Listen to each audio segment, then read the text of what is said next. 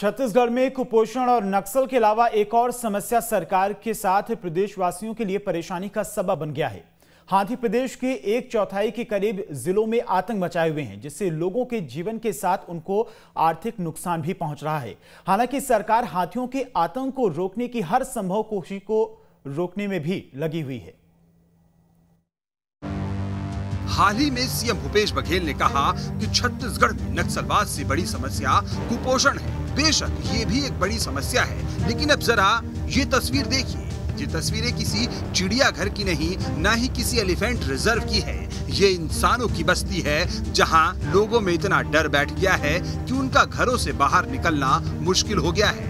तो इन तस्वीरों से साफ़ है कि छत्तीसगढ़ में नक्सलवाद और कुपोषण की ही तरह हाथियों की समस्या भी एक बड़ा मसला है। छत्तीसगढ़ के कई इलाके ऐसे हैं जहाँ गजराजों की दस्तक आए दिन लोगों को परेशान करती है। तो ये छत्तीसगढ़ के वो इलाके हैं जहाँ हाथियों की चहलकदमी है। अब सवाल ये है कि क्या ये चहलकदमी या फिर दहशत इसी तरह कायम रहेगी या इसके लिए कोई कदम भी उठाए गए हैं? तो बता दें कि हाथियों की वजह से होने वाली मौत के मामले में छत्तीसगढ़ चौथे नंबर पर है, जबकि देश में हाथियों की सबसे ज़्यादा संख्या कर्नाटक में है। कर्नाटक में छत्तीसगढ़ के मुकाबले मौत का आंकड़ा करीब 40 फ़ीसदी तक कम है। छत्तीसगढ़ में प्रोजेक्ट एलिफेंट के नाम पर 10 साल में करीब चौसठ करोड़ रुपए खर्च कर दिए गए।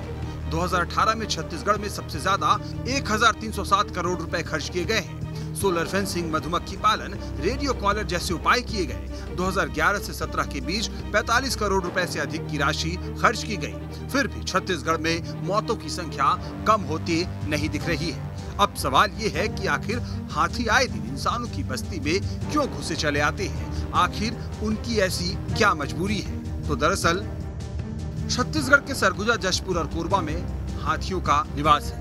महासमुंद, धमतरी और गरियाबंद ज़िले में भी हाथियों का झुंड उड़ीसा से आता है। इस झुंड के हाथी भटक कर कभी कभार राजधानी रायपुर की सीमा में आ जाते हैं। इकतालीस फ़ीसदी ऐसी अधिक वन क्षेत्र वाले सरगुजा, जशपुर और कोरबा ज़िले में घने जंगल है। सरगुजा, जशपुर और कोरबा के इन्हीं इलाकों में कोयला खदाने भी हैं। खदानों के कारण जंगल कट रहे हैं और हाथियों के लिए भोजन कम पड़ रहे हैं। एक वयस्क हाथी रोज़ाना 300 से 400 किलो तक फल, पत्ते और दूसरी चीज़ें खाता है। वयस्क हाथी को एक दिन में करीब 150 लीटर पानी की भी ज़रूरत होती है। इस कारण हाथी ऐसी जगहों की तलाश करते हैं जहाँ उन्हें भोजन पानी मिल सके। मतलब साफ़ है कि छत्तीसगढ़ में कहीं न कहीं हाथियों का आशियाना सिमट रहा है। सिमटते जंगल हाथियों को इंसानी बस्ती में घुसने पर मजबूर कर रहे हैं। इस वजह से कभी हाथी तो कभी आम लोग इसका शिकार हो रहे हैं। हाथी और इंसानों के बढ़ते द्वंद के बीच मुआवजे का मरहम तो लगा दिया जाता है, लेकिन ये शायद समस्या का स्थायी समाधान नहीं है। हाथियों का संरक्षण और इंसानों की ज़िंदगी दोनों अहम है। लिहाजा इस दिशा में कोई ठोस कदम उठाए जाने की सख्त ज़रूरत है। Team news state.